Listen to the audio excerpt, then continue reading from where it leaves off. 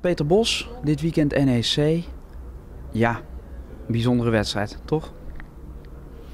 Ja, dat is voor een heleboel mensen een hele bijzondere wedstrijd. Zeker voor onze supporters, denk ik. En voor jou? Voor mij niet zo. Voor mij niet zo. Het gaat voor mij om drie punten en die willen we winnen. En uh, daar gaan we alles aan doen. Het wordt uh, denk ik een, een heet potje. Zoals elke wedstrijd uh, ja, veel strijd. En ik denk dat, dat dat echt een derby gaat worden.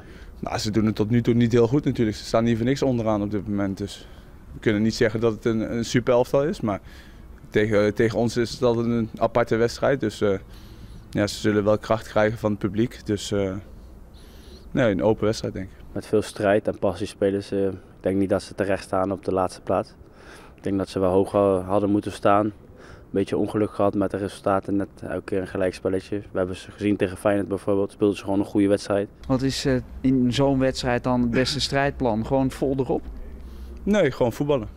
Als wij gaan voetballen, dan hebben wij de grootste kans om die wedstrijd te winnen. Ik denk dat wij meer kwaliteit hebben. En dat de enige manier waarop wij die wedstrijd zouden kunnen verliezen is dat we la ons laten aftroeven. En dat we ons spel niet spelen. Dus ik ga er gewoon vanuit dat wij ons eigen spel spelen en dat we dan uh, ja, de betere zullen zijn.